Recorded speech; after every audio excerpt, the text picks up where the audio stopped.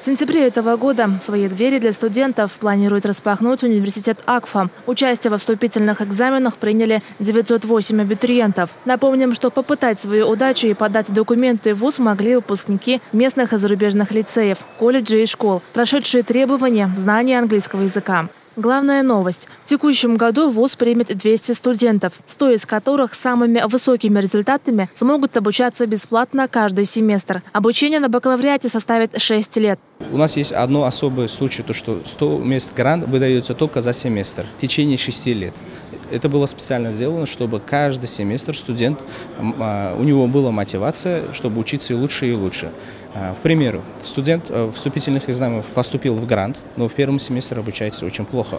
В таком случае студент может обратно попасть в контракт, а студент, который обучается в контракте, может попасть в бюджет. На 2019-2020 учебный год сумма контракта установлена 58 миллионов сомов. На данный момент э, университет Аква э, идет строительство. В связи с этим мы на 2019-2020 учебный год наше обучение будет вестись в Туринском университете. Ответы на вступительные экзамены мы оповестим студентам через наш официальный сайт на 31 июля. Абитуриенты сдавали письменный экзамен по химии, биологии и математике на английском языке. По каждому из них 20 вопросов, на решение которых отводится 2 часа. Максимальная оценка, которую может получить абитуриент за выполнение всей экзаменационной работы – 300 баллов. Интересно, что экзаменационные вопросники были подготовлены профессорами медицинского колледжа Южной Кореи Гачон. Южнокорейские специалисты контролировали и сам процесс вступительных экзаменов. Они также в ответе за проверку вопросников и объявление окончательных результатов результатов.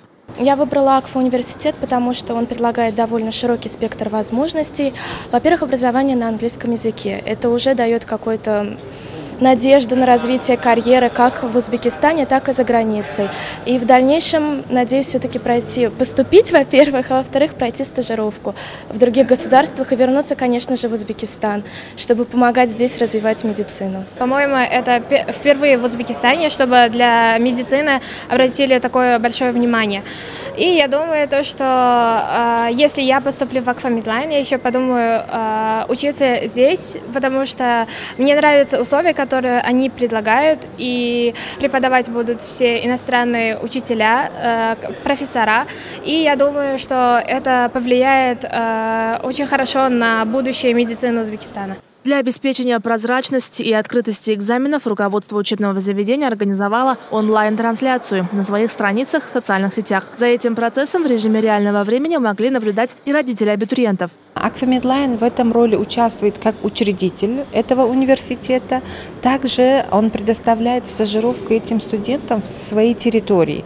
Они будут э, изначально, я, э, с первого, со второго курса могут приходить в клинику, проходить разные отрасли, выбрать себе любимую профессию, чем они в дальнейшем будут заниматься после шестого курса. Они могут выбрать и там участвовать. Мы будем этому обучать и способствовать. Добавим, в 2019-2020 году студенты принимаются только на медицинский факультет. В последующие годы планируется открытие таких направлений, как архитектура, инженерное дело и дизайн.